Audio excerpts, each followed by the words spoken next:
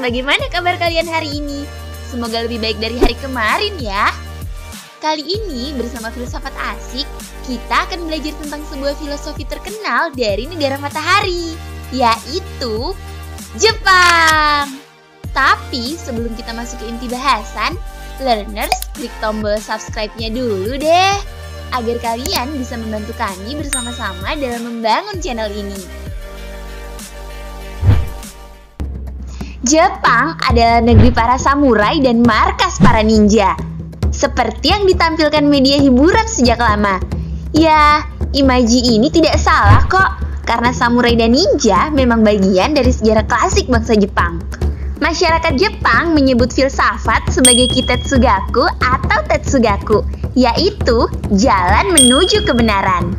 Namun, Jepang pun mengakui bahwa sedikit sekali filsafat asli yang dihasilkan oleh mereka.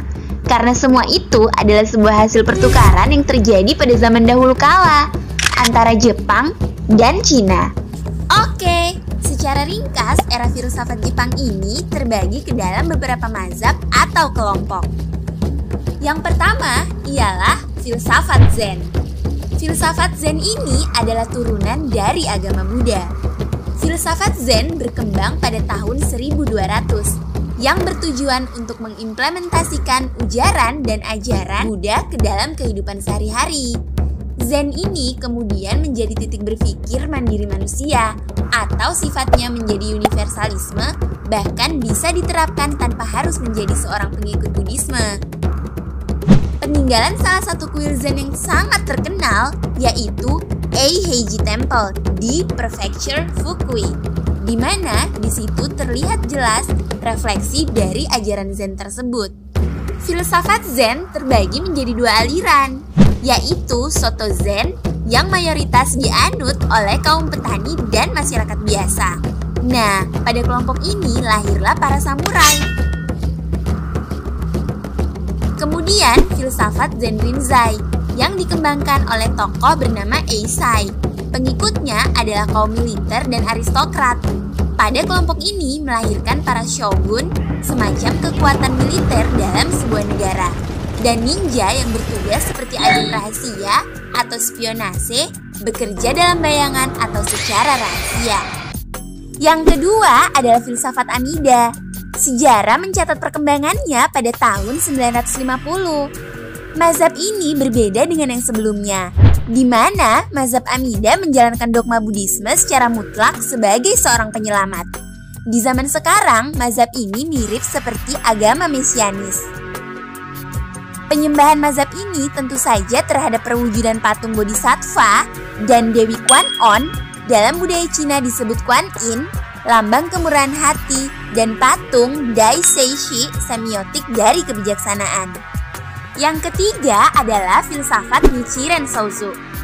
Filsafat ini lahir di Jepang dan pendirinya adalah Nichiren Sozu Daishonin pada tahun 1222 sampai 1282 yang asal mulanya dari filsafat Tendai. Nichiren Sozu adalah anak dari keluarga nelayan yang miskin. Ia tinggal di desa kecil yang bernama Kominato. Ia dilahirkan pada tanggal 16 Februari 1222. Mazhab ini memiliki keunikan tersendiri, di mana pengikutnya tidak melakukan penyembahan ke arca Buddha seperti yang umum dilakukan pada tradisi Buddha lainnya.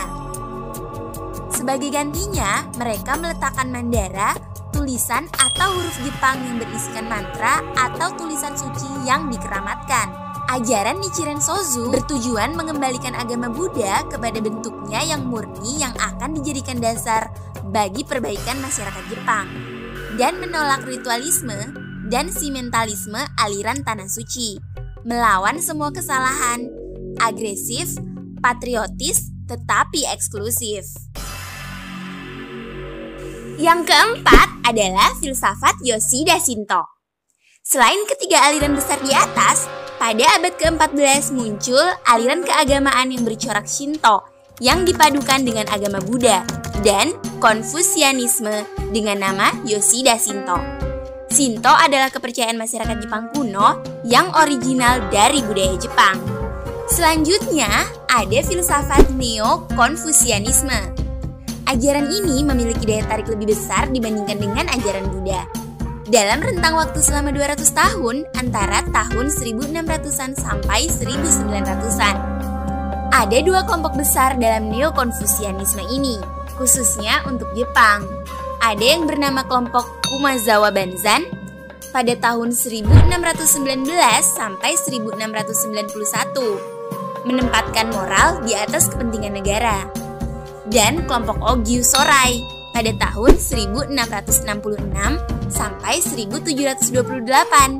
Ia menolak pemikiran tindakan penguasa harus didasarkan pada filsafat moral melihat shogun sebagai penguasa mutlak yang didukung oleh pejabat bukan faktor keturunan.